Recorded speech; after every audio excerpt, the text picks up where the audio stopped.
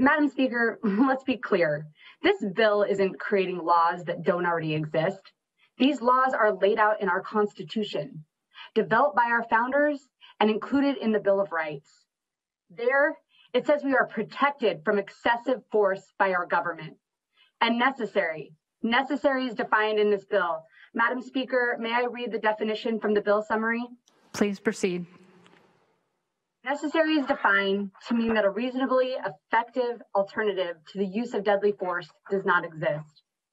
Madam Speaker, had this important definition been in place before, the video I saw of a man who had failed to pay a $3.50 bus fare, who was nonviolent, who was tackled and choked, causing bus delays and unnecessarily wasted 30 or more commuters valuable time and income and cost the city and county hundreds of thousands of dollars in the unnecessary response from 13 officers and seven vehicles, not to mention the cost of the delays to the transit agency.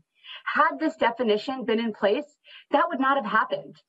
And had this definition been in place, Eric Garner, who was killed for selling cigarettes, might be alive today.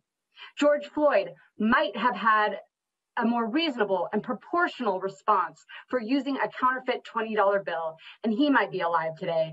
Tamir Rice might be alive today. Rodney King might be alive today. Manuel Ellis might be alive today. And our community members, who I hear from every day, may not have lost so much trust in law enforcement. Law enforcement who solemnly swears in the oath that they take to serve honestly and faithfully and to bear true faith and allegiance to the United States of America and the state of Washington to uphold the Constitution, the Constitution that says we are protected from excessive force by our government. This is preserving and protecting human life, the most fundamental value of our law enforcement. Please vote yes for accountability, for restoring trust, and to save lives.